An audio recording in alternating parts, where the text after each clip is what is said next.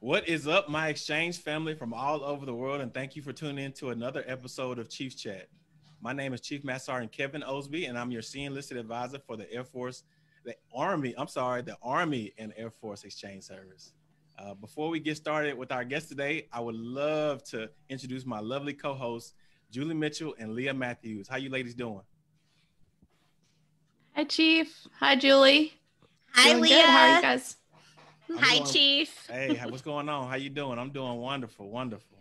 And today we got a, a outstanding guest. We got a a, a family mate, a sis, my sister from another Mister that I've never met before uh, in person.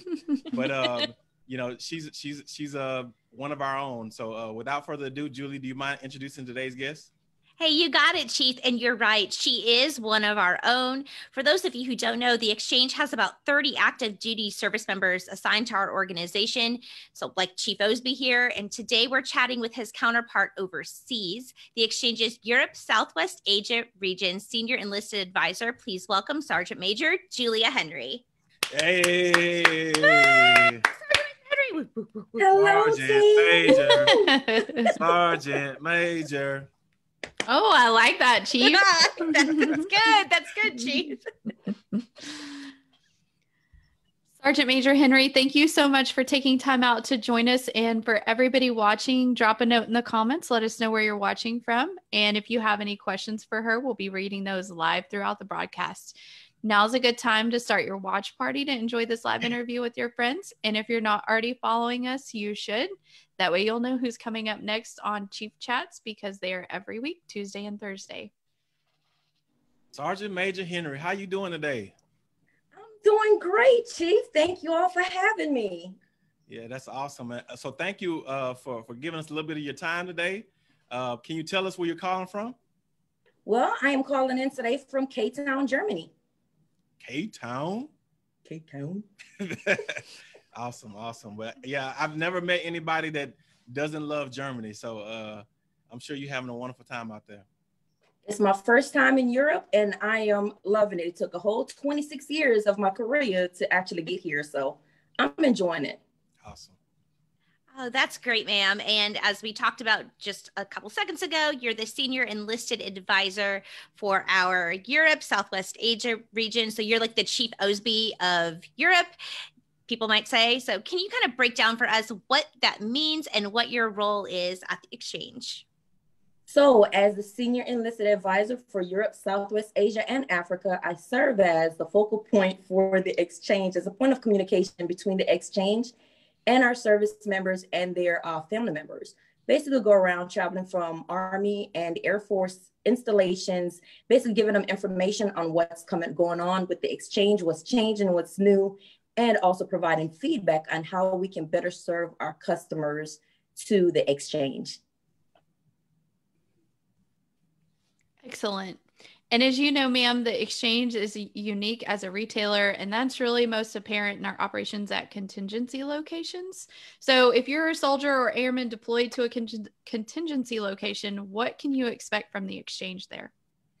Well, if you are a a soldier deploying to a contingency location, you can expect to still receive a taste of home because that's what the exchange is all about going where you are. We go our motto is we go where you go. So you can expect a taste of home uh, in locations where you don't have a big store say like a ramstein uh, or the one in korea. You can expect a trailer which is called a mobile field exchange short mfe you'll see those in your location ran by a couple associates. Um, if you do not have those in your location and you don't have any kind of exchange services there, your chain of command, your commander can request AIFA, which is AAFES Imprest Fund activity. They can request that, and we basically loan a certain money, amount of money, and give you all a list of products to choose from. You request those items, we ship it out to your location, and you basically run that facility on your own. It's command driven and it's command ran, not AAFES ran.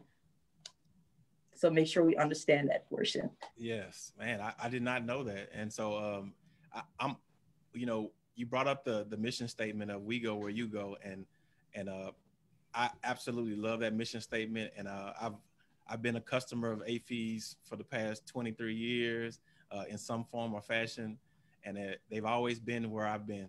And, and matter of fact, so much that I get a leaflet every every PCS I go.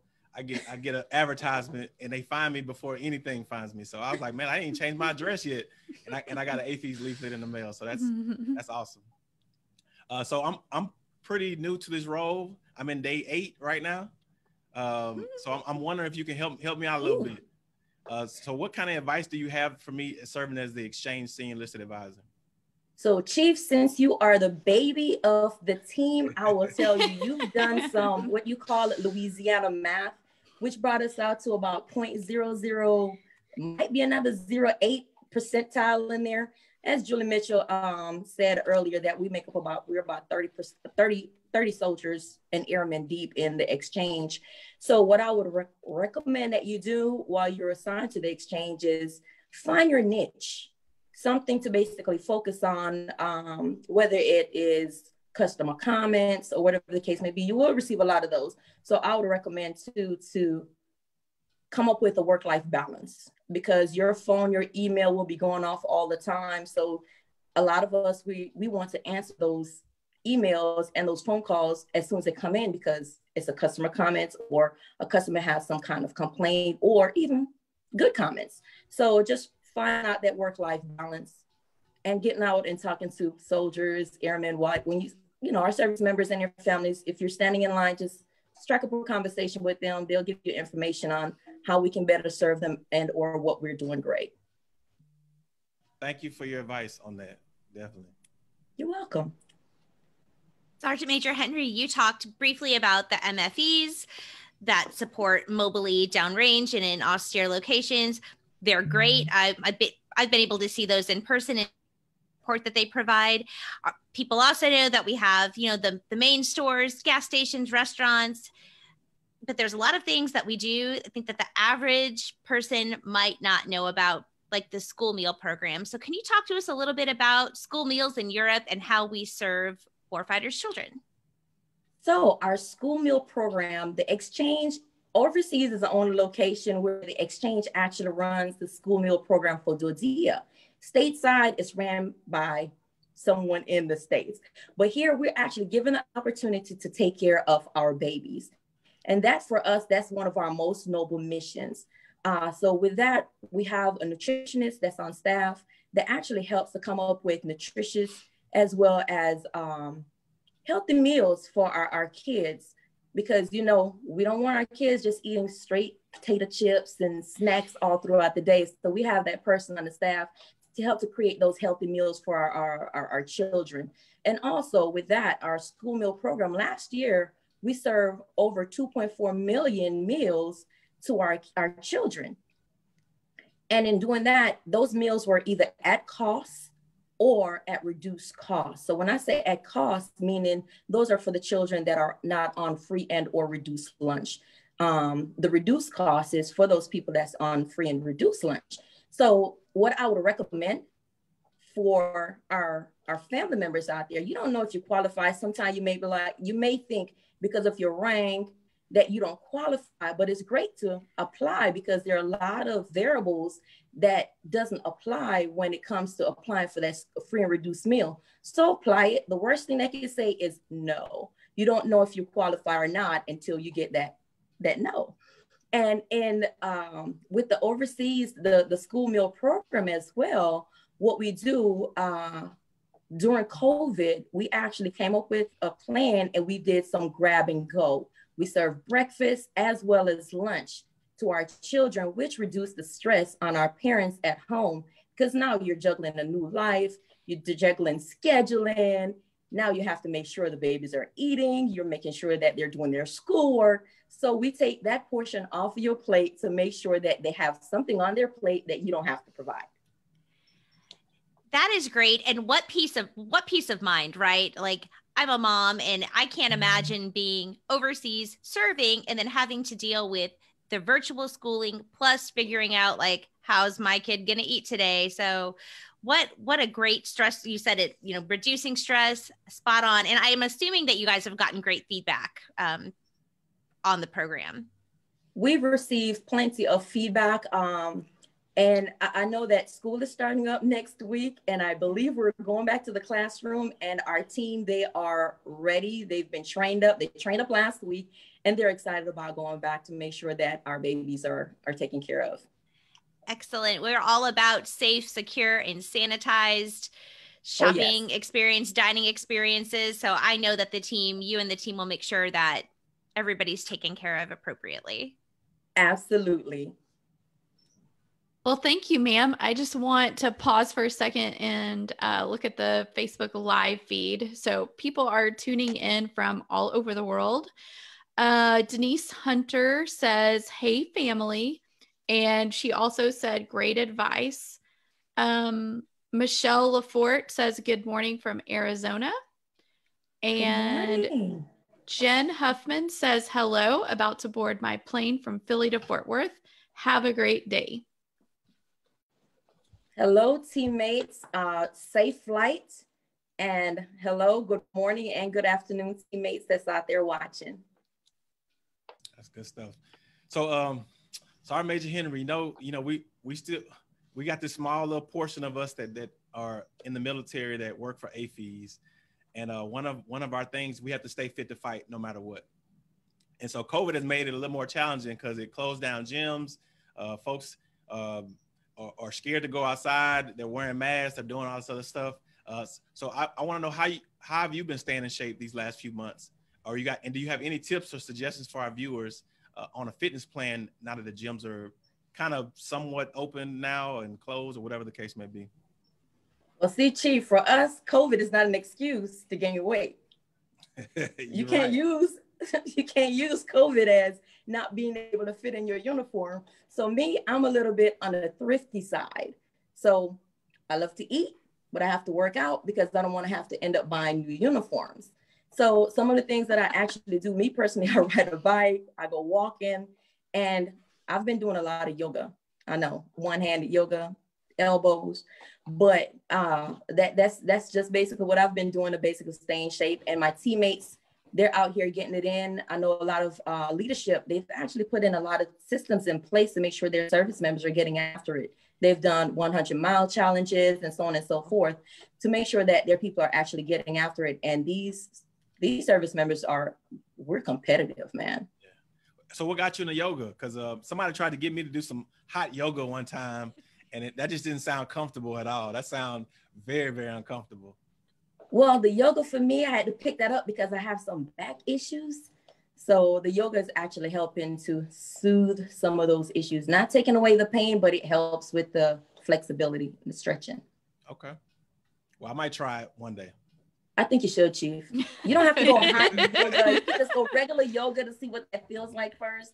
You don't want to go all in and the first time. Then you might not want to go back. Yeah, I, am not as flexible. Well, I don't think I've ever been flexible, but I'm definitely not flexible now at this, this point in my life. But uh, yeah, okay, I'll, I'll try though. You you you seem very convincing, so uh, I'm gonna try it one time. You're all in for the yoga. It's on camera, so I guess I got to be all in. We're gonna hold you to that. we want it. We want to follow up, up with that. Yes, exactly. well, Sergeant Major Henry, we'd love to learn a little more about you, ma'am. Where are you from? How long have you served? And how did you end up joining the military? Well, I am originally from Jamaica. I grew up in Florida. Um, I've been in the Army now a total of 26 years. I just had an anniversary last year. And congratulations. Thank you. So my story is a little bit different. My decision to join the army was not planned. It was very impulsive. I had a friend of mine after school. She was going somewhere. I didn't know where she was going. I just turned around. Hey, where are you going? She said, I'm going to the recruiter station. I was like, huh, what is that? I'll walk with you. Now, 26 years later, here I am. I raised my right hand and I've been here since. I love I love that story. I love that story so much. Um, you mentioned that this is your first assignment in Europe. What have some of your favorite assignments been throughout your 26 year career? So two of my most favorite and memorable um, assignments has been uh, Fort Polk, Louisiana. I know a lot of people when they hear Louisiana, Chiefs, no knock on your home state. Come on now, come on but, now, Sergeant Major. a lot of people when they hear Louisiana, they say, "Oh, no one wants to go to Fort Polk because it's Camp Swampy." However, that was one of my most uh, enjoyable assignments where I, I basically worked and I was assigned as observer controller, where I prepared service members to deploy to Iraq and or Afghanistan. Um, and the next one has been this one. The reason for this one is because I'm able to impact so many people's lives, not just our service members, but their families as well. And our team here is, I have a great team. So if I if we come up with a decision or I say, hey, this doesn't make soldier sense, airman sense, customer sense, then our team actually looks at that and make the decision and say, okay, all right, we won't go that route, we'll go this route. So it's it's easy for me to impact change, which will affect many lives. So that's part of the reason why I I, I truly love this assignment. Awesome, man, and the way you talk talking it up, man, I'm super excited to be here. So, uh, Chief, you're gonna love it. Yeah, I, I'm already loving it. You guys are wonderful. I got a wonderful team. You guys have been supporting me since day one. So, uh, I look forward to to being on this team uh, going forward. So my next question is talking about mental resiliency. So you know, in the military, uh, we, you know, we we're locked in so much, and we're mission, mission, mission sometimes, and then life life happens, and so sometimes, and life happens to everybody, and and we're probably not hundred percent self, or we have issues or stuff going on. How do you, what, how do you deal with, how do you overcome uh, those type of uh, scenarios, or you know, what, what are you doing to to build your mental re- resiliency? So, Chief, in building my mental uh, resiliency, I'm MRT trained, I'm Master Resilience Trainer. So I apply a lot of those tools to that I have in my kit bag as an experienced uh, service member. Uh, you know, sometimes I take some of those tools out of my out of my kit bag to make sure that I'm staying afloat uh, because we're human. We're not robots. We all are going to go through challenges, changes, emotional, whatever the case may be, especially if we're in a place by ourselves. Like, I mean, I'm here by myself now because my kid went back to school. So some of the things that I do, I, I sleep, I sleep a lot. Mm-hmm. it is a good thing. I cook and I eat a lot. So because I eat a lot, out, meaning taking long walks, riding my bike, and Germany is a there's a lot of nature there's a lot of nature, a lot of trails in my neighborhood. So I go on a lot of walks. And while I'm out there, I'm taking landscape pictures.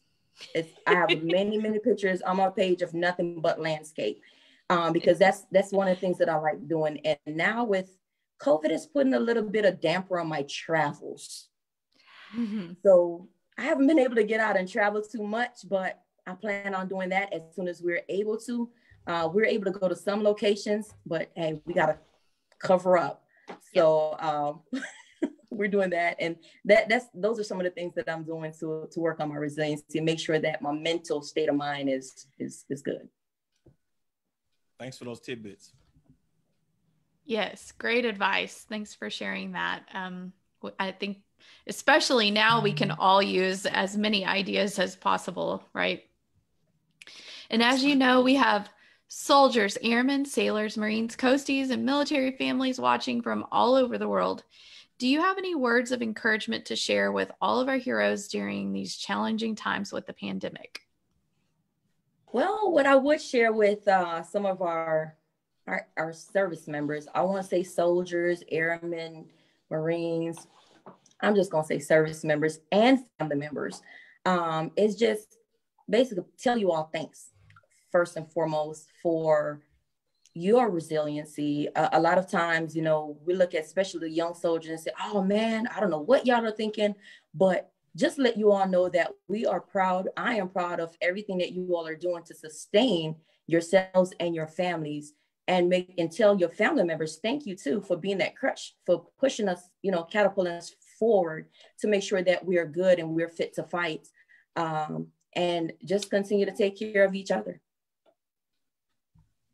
thanks for, thanks for those words of encouragement. Um, I would love to hear your perspective on leadership. So I can remember me as uh, when I first started my career in the Marine Corps, and at 19 years old, I was prom- meritoriously promoted to corporal, and so I went from, you know, being being a, um, an E3 to an E4 NCO at 19, and that transition was really hard for me. Uh, I I wasn't sure if I was ready, but uh, uh, folks th- saw that I or thought that I was ready. Um, so, how what kind of advice would you give Corporal Osby moving into a leadership position? Um, you know, as a, as an experienced and seasoned sergeant major.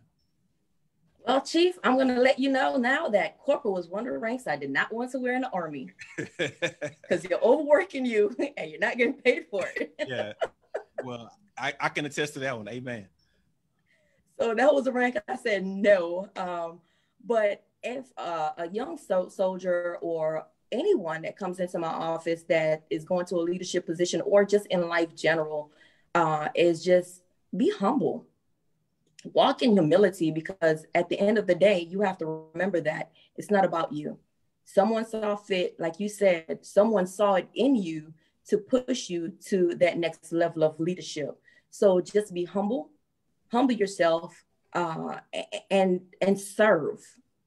Don't think you're going into that position to be served, but have that uh, that mentality that okay, I'm here to basically serve the people that's below me because at the end of the day, they're the ones that that's the reason why I'm here.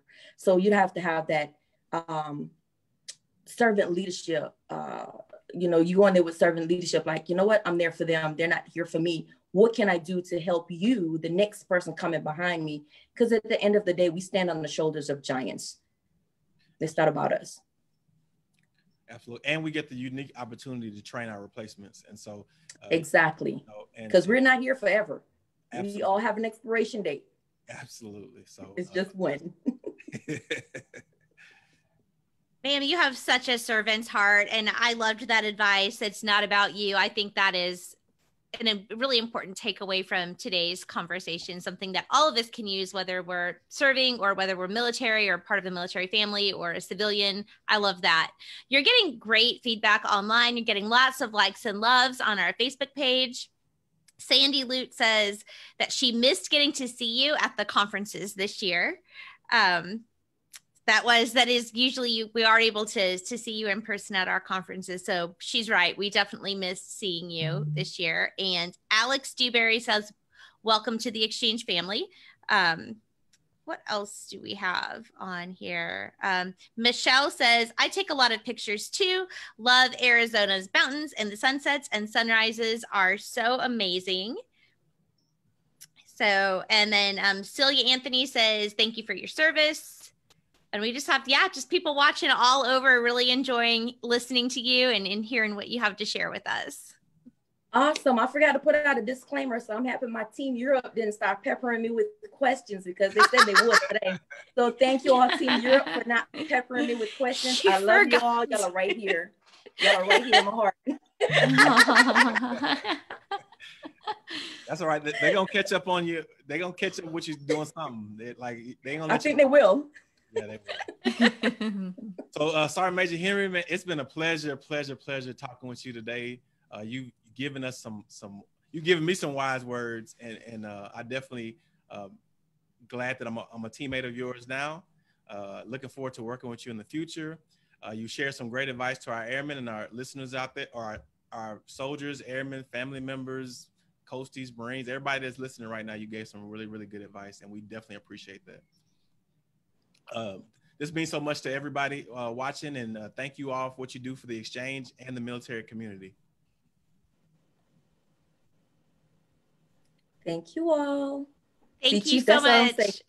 I don't run down Coast Guard, Army, Air Force. I just say service members. Cover all of them.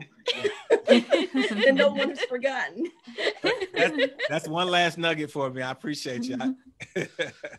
all right. Well, we're gonna sign off. Thank you very much. Bye. Thank you. It was good Thank to see you. Exchange out.